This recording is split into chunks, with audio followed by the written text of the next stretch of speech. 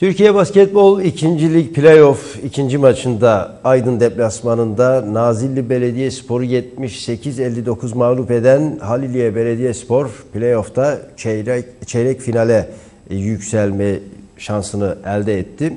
Haliliye ekibi verdiği aranın ardından çeyrek finalde karşılaşacağı Lokman Hekim Fethiye Belediyespor maçına hazırlanmaya başladı.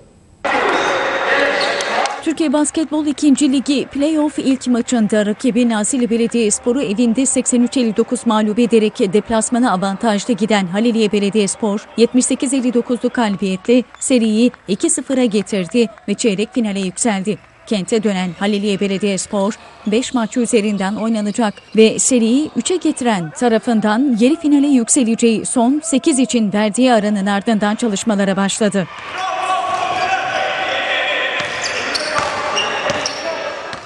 ...16-18 Nisan 2019 tarihlerinde Muğla temsilcisi Lokman Hekim Fethiye Belediye Spor'la iki maç yapacak olan Haliliye ekibi 21 Nisan 2019 serinin 3. maçını Şanlıurfa'da oynayacak.